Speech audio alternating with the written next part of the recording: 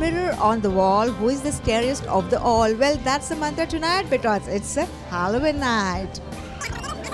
Bats, witches, and clowns, all under one roof, paying ode to deads and departed on All Hallows Eve, or most popularly called Halloween.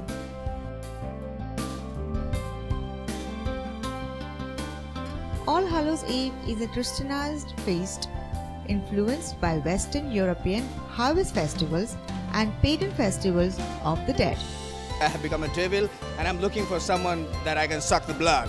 Originally a Western festival, now it is increasingly celebrated in Indian metros as well. Um, I think that India is very much open to different cultures, and that's what I appreciate about this country. So I'm not afraid. I'm not. I don't have this fear that people will misunderstand all, all these devilish things. Mumbai has hordes of parties on Halloween theme, including festive Halloween activities like trick or treating, attending costume parties, carving pumpkins into lanterns, lighting bonfires, and playing pranks. Mumbai Live